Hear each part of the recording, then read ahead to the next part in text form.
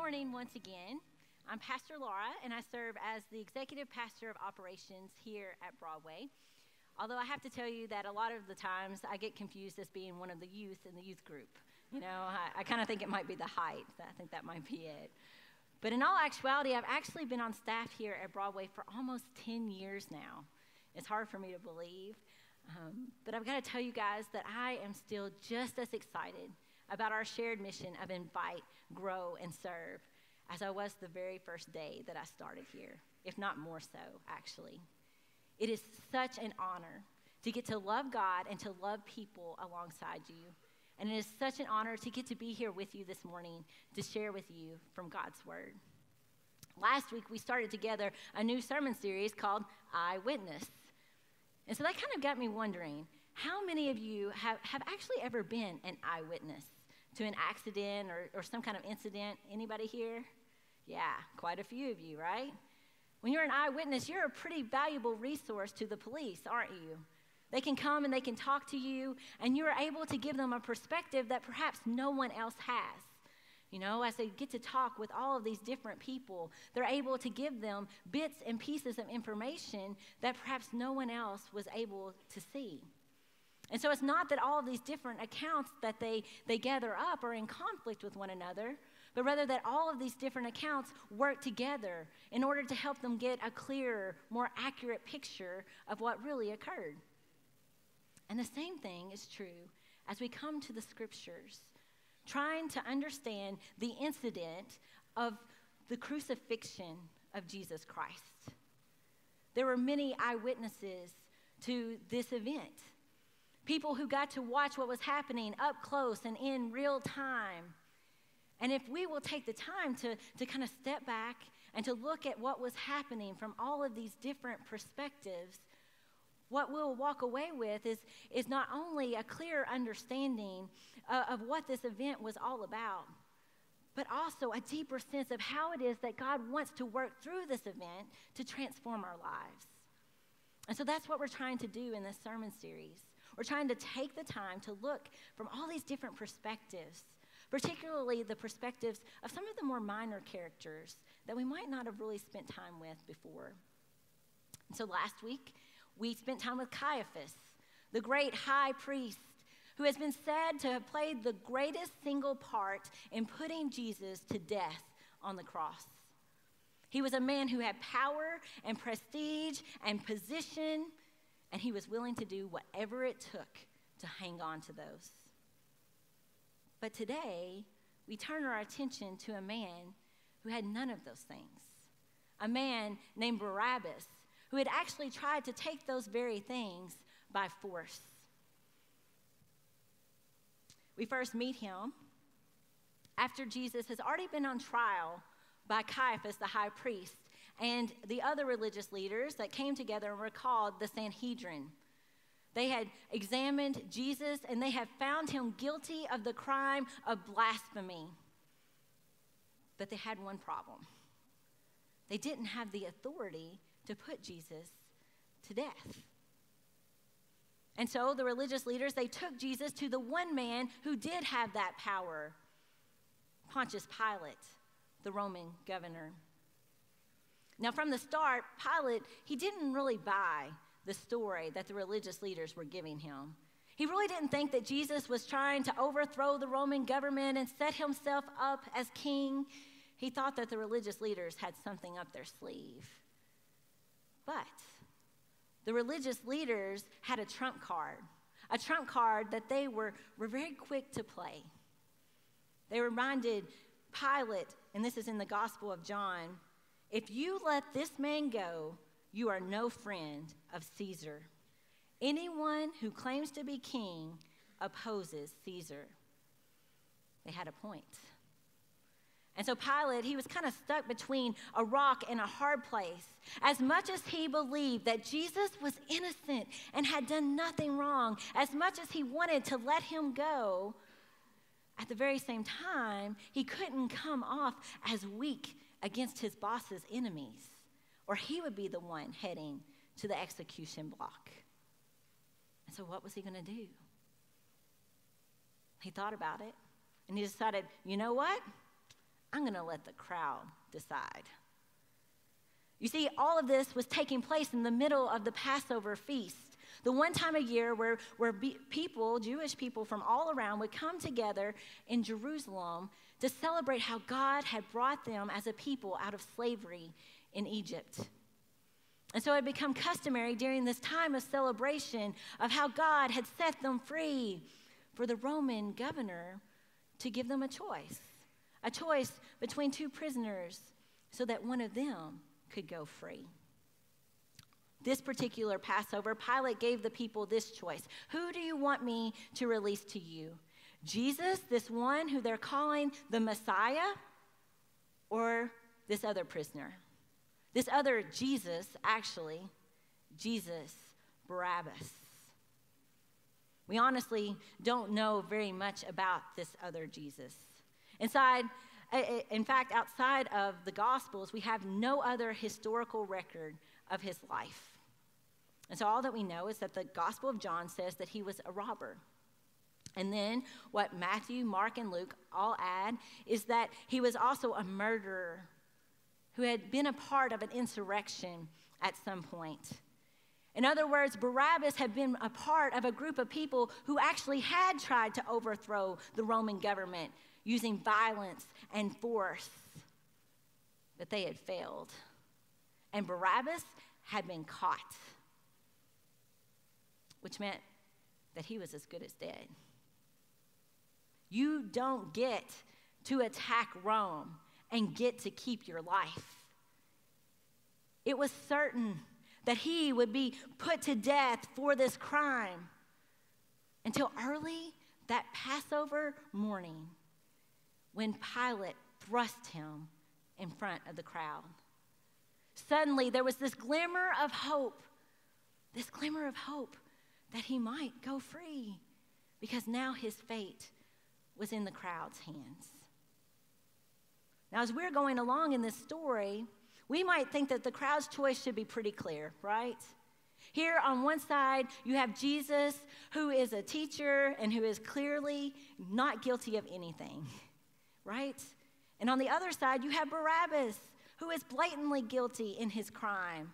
Surely the crowd is going to choose to set Jesus free. But crowds can be tricky, can't they? We've all been a part of a crowd. You're actually kind of a part of one right now, right? And it's very interesting what happens when we as human beings get together into groups. There's actually a whole strand of psychology that studies this. It's called crowd psychology or mob psychology. And there are all these different theories that try to explain why it is that we do what we do. You know, why is it that we'll stand up and do the wave at a ball game when we really don't want to? why is it that we will start clapping along? Why is it that we will stand up every time a bell is rung, even when we're told not told to do so, you know? But we're in a room and the bell rings once and one person stands up. And then the bell rings again and a few more join in. And then the bell rings again and suddenly all the room is on their feet. That was a real experiment that someone did. But more serious than that, why do we get into groups of people and at times do terrible things? Terrible things that we would never even consider doing all on our own. This past week, I was reading through all these different theories, trying, trying to understand why we do what we do. And at some point, it struck me. At the heart uh, of so many of these theories, sometimes very complicated and complex theories, I might say, there seems to be this very basic desire that is often at play. A very basic desire that motivates us to want to um, do what we do in the midst of a crowd. And that basic desire is this the desire to people please. It's a desire that I have to tell you, it's not all bad. This desire to please others, it can help us treat others with honor and dignity and respect. But like any other desire in our lives, it can get off kilter at times. This desire, it can get out of control when we become willing to do whatever it takes to meet this desire in our lives, to maybe even compromise who we truly are and what we believe because somehow this desire it has become the measurement by which we evaluate our worth as a human being.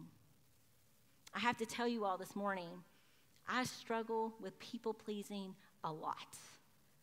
I struggle with people pleasing in the crowd of my family. I struggle with people pleasing in the crowd of the church. I struggle with people pleasing in, the crowd of my community. It is so easy for me to begin finding my value in what other people think of me. It is so easy for me to begin assessing my worth based on the amount of applause or criticism that I receive. And so it is so easy for me to start acting and reacting out of this desire to please. In fact, I'll never forget the very first time that I realized that this had gotten out of kilter in my life. I was in the fourth grade at Longest Elementary School in Powderly, Kentucky. If you know where that is, come and see me after the service. I'll give you a prize, okay? It's a very small place. Um, but on this particular day, we were out at recess. And um, on our playground, we had all the normal fun equipment. You know, we had swings and slides and seesaws. But then over on the other side of the playground, we had this big open field where people can just play whatever game they decided to make up. And so on this particular day, I was over on the swings, just having a good time. But suddenly I heard a commotion going on over in the field. And so I had to know what was happening. And I started moving that way. And as I got closer, I realized that a bunch of my classmates, had kind of gathered up in a circle over there. And I got even closer, and what I noticed that was that one of my classmates was actually inside the circle. And he was running around breathlessly, chasing something. I wasn't sure what it was. Until finally, I looked down at his feet and I realized that it was one of his shoes. Somehow, his shoe had fallen off. And now my classmates were doing everything in their power to keep this shoe away from him. They were throwing it from one person to another and running around laughing. And I was watching all this, you know, watching the shoe zig and zag all around the circle, when suddenly I realized that the shoe was coming right toward me. My classmate, he started running at me as I reached out and I caught the shoe. I could see that he was exhausted. I could tell that he was frustrated, but much more than that, he was hurt. It looked like there were tears gathering up in his eyes. And as I looked at him, I wanted to give him his shoe. But my classmates, they were yelling my name. Laura, throw the shoe over here. Laura, don't give it back. Laura, give the shoe to me. And all the while, my classmate was looking right at me, wondering, would I be the one who finally gave him back his shoe? And I wish I could tell you that I did. But what I did was I reared back and I threw the shoe. I think about that moment quite often in my life. And some people might say that, you know, I just got caught up in the moment or got carried away with the crowd. But if I'm honest, there's something much deeper going on than that. Internally, what I knew was that I wanted to please my peers. I didn't want them to be mad at me. I didn't want them to think that I was a stick in the mud who couldn't have any fun. And I certainly didn't want to become, the next classmate that was in the middle of the circle that they were taunting. I needed their approval to fuel my worth. And so, in that moment, when I was standing there holding the shoe, I made a choice. I decided that I cared more about what other people thought of me than doing the right thing in that moment, holding that shoe, I decided to act out of the desire to please rather than to act out of what I knew, even as a fourth grade little girl, what God called me to love. To love Him and to love others as myself. And so I threw that shoe. What about you? When have you thrown the shoe? Perhaps you've been in the break room at work and all your, all your peers are talking about a certain coworker, they're putting them down, and when they finally turn and look at you, you add on some harsh comment because you don't want them to, to, to turn on you. You don't want to be shunned. Maybe you've seen that all your friends are on, on Facebook, they're, they're, they're shaming someone publicly. Maybe it's someone you've never even met before. But you add on some ugly comment into the conversation, into the hopes that your friends will push that like button and affirm your value at that other person's expense. Perhaps you've been with a group of friends when someone has told a degrading joke about another gender or race or nationality, and you've chuckled right along because you wanted to fit in. Or maybe you've seen someone or a group of someone's in our community being mistreated, and you didn't directly join in, but out of your fear of conflict, you've given approval to what's going on by making the choice to turn and to look the other way. You know, as adults, I think we like to think that, that at some point we grow out of people pleasing, that at some point we become immune to peer pressure in our lives. That couldn't be further from the truth. We just move on from the playgrounds of the world to the boardrooms and the break rooms, the, the barber shops and the back porches, where we feel the very same pressure to play the very same people pleasing game. I've got to wonder how many people in that crowd that day, standing before Jesus and Barabbas, were feeling the pressure to play the game. I wonder how many of them had never even seen or heard of Jesus before, and they really had no stake in the outcome. I wonder how many of them actually had seen Jesus and they were feeling internally conflicted because when they had seen him and heard him, it sure seemed like he was doing a lot of good. I wonder how many people in that crowd that day knew without a shadow of a doubt that Jesus had done nothing wrong, certainly nothing to warrant death. But yet, when Pilate turned to that crowd and he asked them, Which one do you want me to release to you? The crowd shouted together, Barabbas, Barabbas, Barabbas, over and over and over again. We know from the, the Gospel of Matthew for a fact that the chief priests and, and the elders that they had persuaded the crowd to reply in this way. They would have been the, the well respected and very visible leaders of the people. And they certainly would have been much better well known and trusted by, by the Jewish people who had come from afar for the feast that week. Perhaps the crowd thought together, who are we to question our leaders? We certainly don't want to be at odds with them. Or maybe they looked around at their peers and they saw them starting to chant and they thought to themselves, well, I better go along with that. you know, I don't want to stand out or be criticized. I wonder how many of them were like me that day when I was standing there holding that shoe. And in that moment, they made the choice to care more about pleasing people than doing the right and loving thing. Here's what I want us to think about. What if Jesus had made that same choice?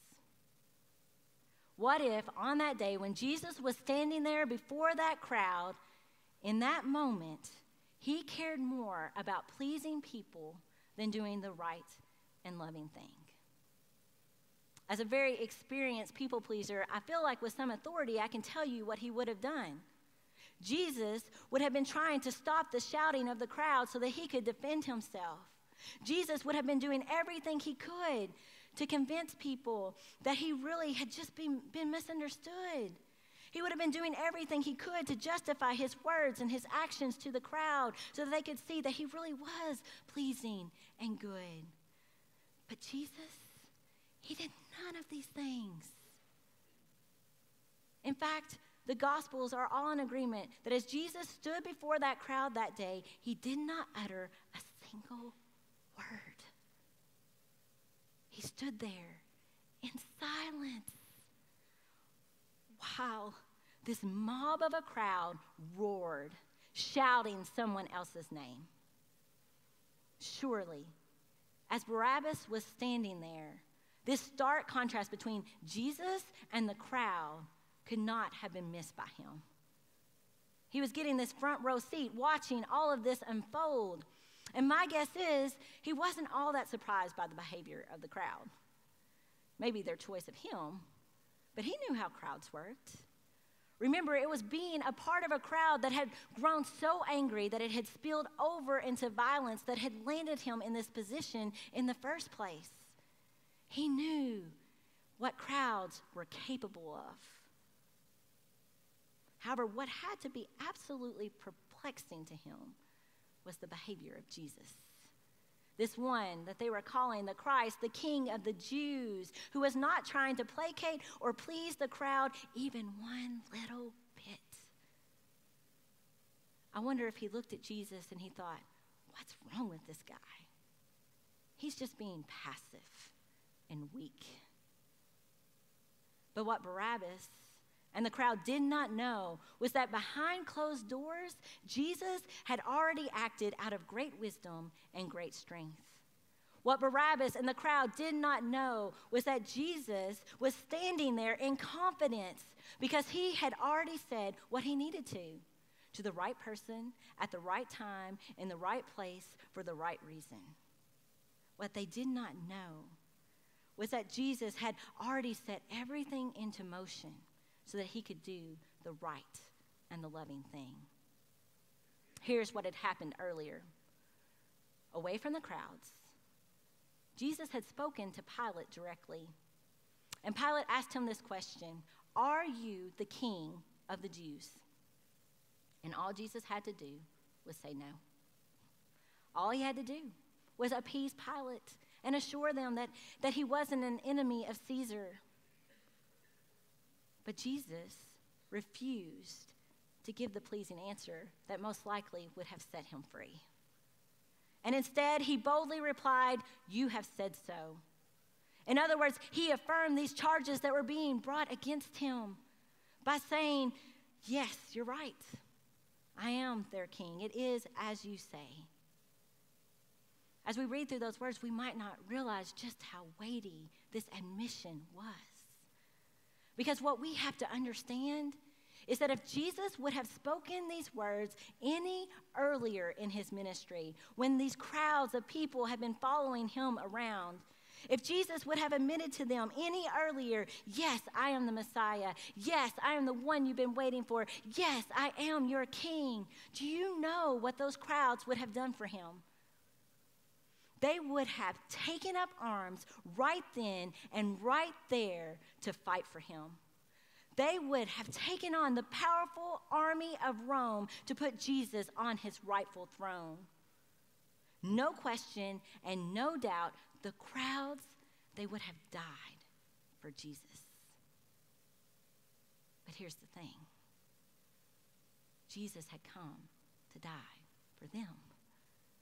He had come to do so much more than just lead a revolt that might set one little nation free from some foreign enemy.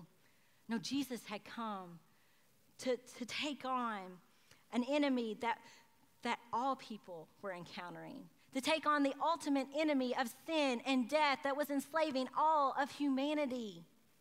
And so, away from all the crowds that day, when they could not rush in to his aid, Away from all the crowds that day when it was too late for him to be saved, he finally spoke the words that the crowds had been waiting to hear him speak. Yes, I'm the one they've been waiting for. Yes, I am their king. You see, Jesus, he wasn't worried about pleasing that crowd that day because he loved them far too much for that. Rather, Jesus wanted to do what he knew was going to bring them life. even though he knew full well it was going to cost him his own. Willingly and compassionately, he died for those crowds that were shouting someone else's name. Willingly and compassionately, he died for the Roman soldiers who would have fought against the crowd if they had decided to revolt. Willingly and compassionately, he died for Pilate, whose life would have been in danger if he had walked free. Willingly and compassionately, he died for Barabbas, this one watching all of this unfold up close, and whose life would have been taken if Jesus had not taken his place.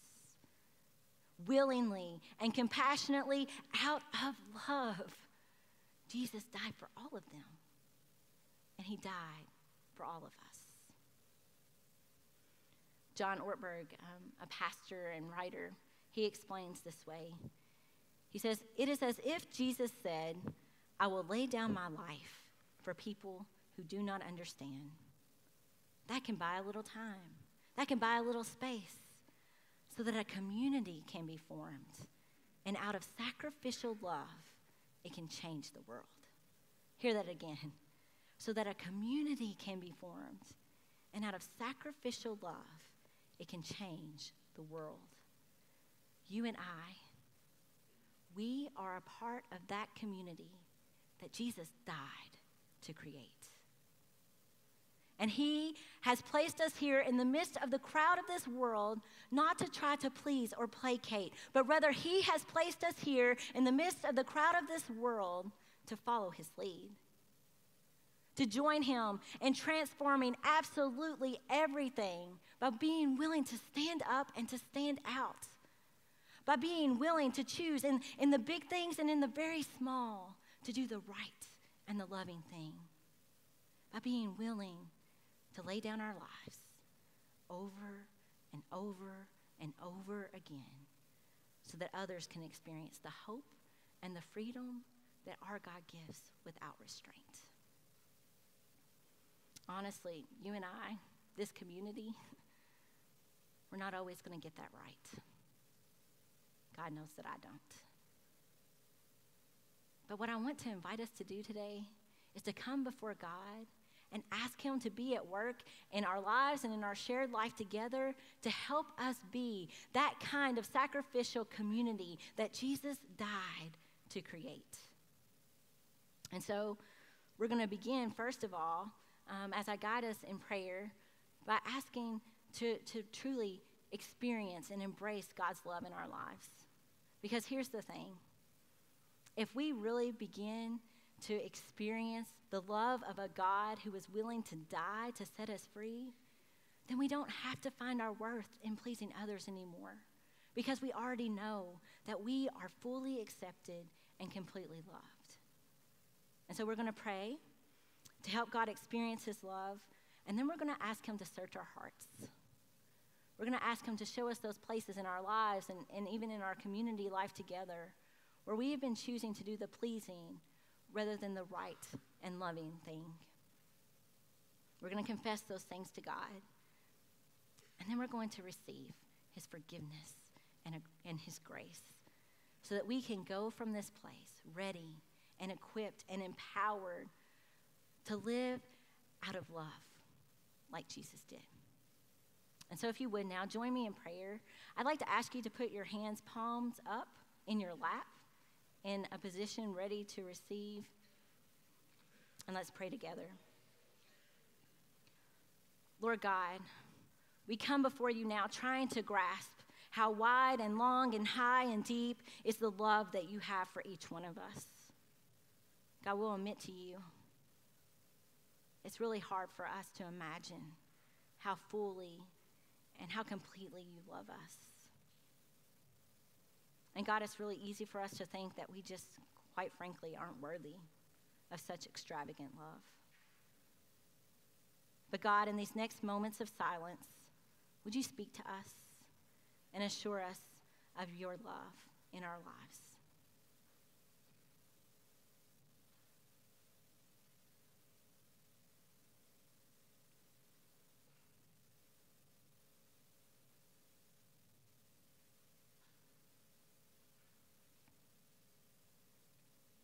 Now, if you would turn your palms down toward the ground. Lord God, we desire to love you and others the way that you love us. But God, sometimes we miss the mark.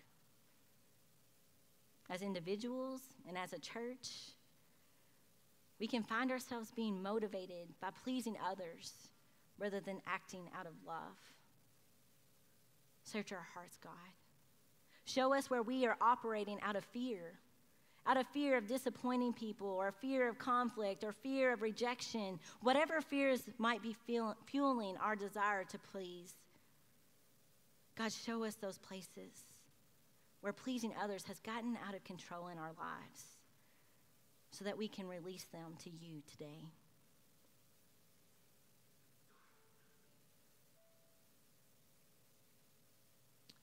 And now, if you would turn your hands back up, ready to receive.